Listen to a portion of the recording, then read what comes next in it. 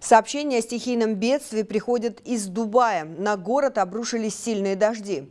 В результате некоторых из них трассы перекрыли, а в аэропорту Дубая отложены рейсы. Вода затопила станцию метро.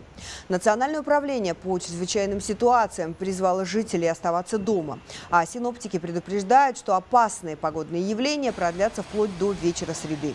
Ливневые дожди, впрочем, обрушились и на другие регионы Объединенных Арабских Эмиратов. Эксперты называют этот апрель самым холодным за всю историю страны.